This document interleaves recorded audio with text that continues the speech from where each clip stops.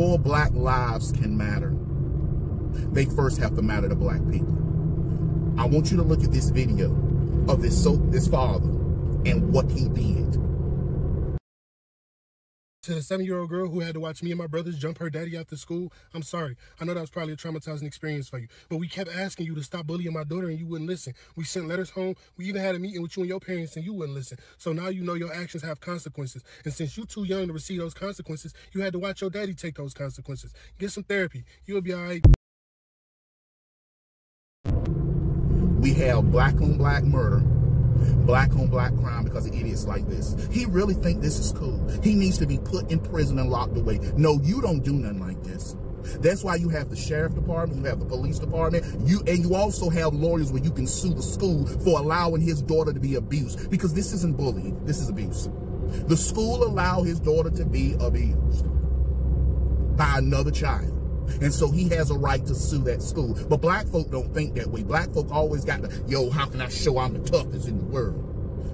We're about to have a black on black murder and another black man in prison for life. Because the black man whom his brothers beat up, he's going to come back. And he's going to kill. If it's a white boy, oh, he's going to die. Oh, the white boy is going to come back But whoever this is, this man is going to come back. He's going to come back guns blazing. And you know what's going to happen? You're going to have another black man dead and another black man in prison. I hope they lock him up. Just give an example to his daughter that got bullying. This is how you handle situations like this. Then I hope the man, once he get locked up, get a lawyer, then sue the school because he took matters in his own hands. And him and the other father that got um, beat up, I hope they put their minds together. So since, you know, we had to do this and this violence is because you failed to do your actions, school.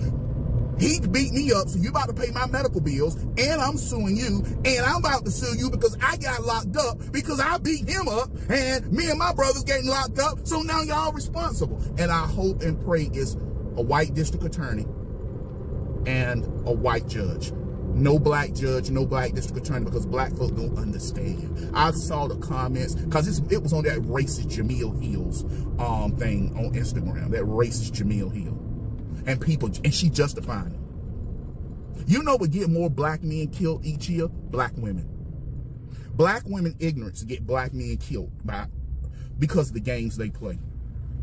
This black man, it, it, two months from now, you're going to hear I'm being shot and killed. You're going to hear that. Or it's going to be a, something's going to happen to his daughter. Because if I saw your daddy beat up my daddy and I'm already bullying you, oh, I'm coming back to school the next day and I'm going to hurt you. I'm going to physically hurt you.